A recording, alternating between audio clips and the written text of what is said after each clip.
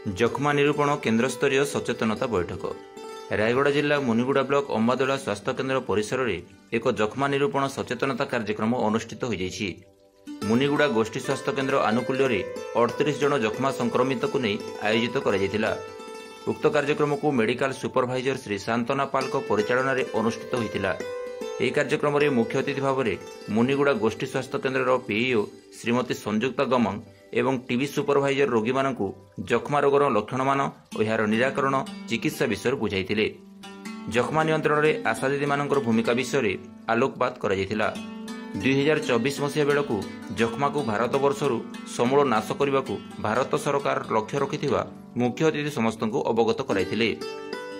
ଅମ୍ବାଦୋଳା କ୍ଷେତ୍ରରେ ସାତଟି ଗ୍ରାମରେ ଏହି ସଚେତନ କାର୍ଯ୍ୟକ୍ରମ ଅନୁଷ୍ଠିତ କରାଯାଇଥିଲା ବୋଲି ଶ୍ରୀ ପାଲ ସୂଚନା ଦେଇଥିଲେ। ପରିଶେଷରେ ଶ୍ରୀ ପାଲ ସମସ୍ତଙ୍କୁ ଧନ୍ୟବାଦ ଅର୍ପଣ କରିଥିଲେ। ମୁନିଗୁଡ଼ାରୁ ରମାକାନ୍ତ ପଡ଼ାଲଙ୍କ ରିପୋର୍ଟ ଓଡ଼ିଶା ଟାଇମ୍ସ